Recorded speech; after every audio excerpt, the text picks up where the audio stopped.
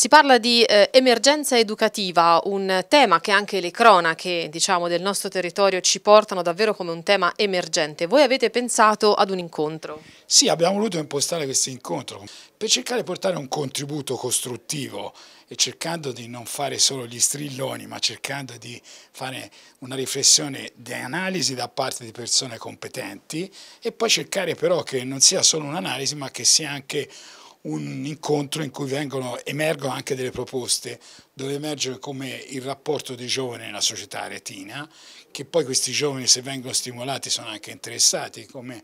l'intervento che c'è di educazione civica con le scuole. Quindi ecco, la nostra riflessione è stata questa, cercare di dare un contributo costruttivo a un argomento che è un po' diciamo sulla cresta dell'onda nella società aretina. Ecco, tanti soggetti che avete messo insieme, ma darete voce proprio anche ai ragazzi. Assolutamente sì, diciamo che lo spirito appunto come dicevo livelli dell'iniziativa è quello appunto di parlare di questo tema che è d'attualità, ma non solo del disagio giovanile, andiamo a mettere in risalto anche le, tanto, le tante qualità che ci sono nei giovani, anche dell'agio giovanile. Naturalmente questo noi l'abbiamo impostato appunto come un lavoro di squadra, bisogna essere vicini alle istituzioni e per questo a questo convegno ci sarà il vice sindaco e assessore di Arezzo Lucia Tanti che è sempre molto attenta alle dinamiche del sociale, alle dinamiche dei giovani e a quello che si muove nel campo dell'associazionismo e del terzo settore, ci sarà il deputato Gabriele Toccafondi, ci saranno esperienze direttamente sanitarie come il dottor Becattini